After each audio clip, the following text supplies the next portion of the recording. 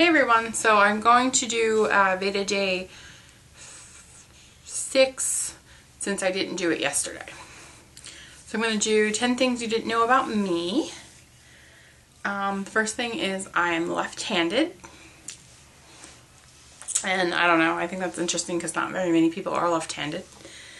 Um, I've been with my husband for 11 years. We've been married for three and a half.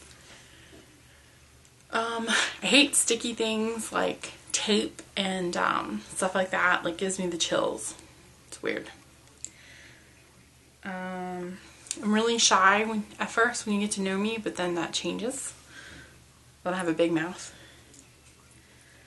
Um, I have an obsession with nail polish and we just counted them and I have 164. And I will show you that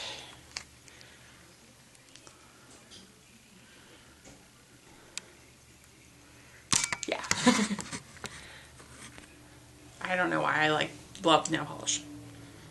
I've never had a pedicure because I hate feet. I love to read.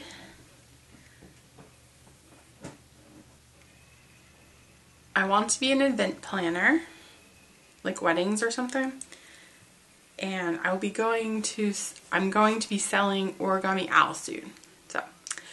Uh, that was really short, but those are 10 things you probably didn't know about me. So, thanks for watching. Bye.